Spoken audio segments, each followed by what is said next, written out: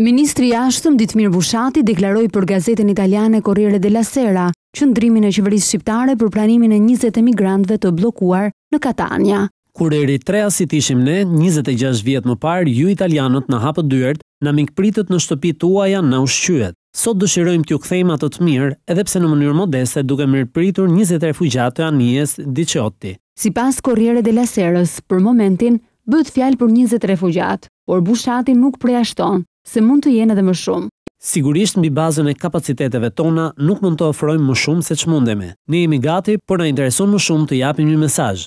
Ditmir Bushati për Corrieren thekson dhe qëndrimin e qeverisë socialiste të drejtuar nga Edi Rama për orientimin e ri të vendit ballkanik. Pasi ka kaluar një çerek shekulli nga një vend dëshpërimi me më shumë se një milion shqiptarë që braktisën vendin sidomos drejt Italisë dhe Greqisë, pas gjysmë shekullit diktaturë, në një komb dinamik dhe në pritje të muajit qershor dy mijë e nëntëmbëdhjetë kur duhet të çelen negociatat për anëtarësimin në Bashkimin Europian.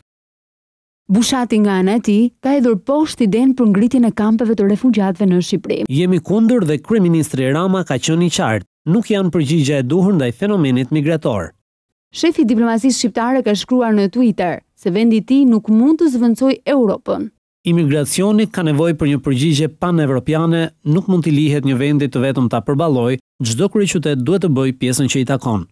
Më pas, ai ka patur edhe një bisedë telefonike me kolegun italian, Moavero Milanesi, të cilët kanë biseduar për të organizuar transferimin dhe për të vendosur fondet që do të përdoren.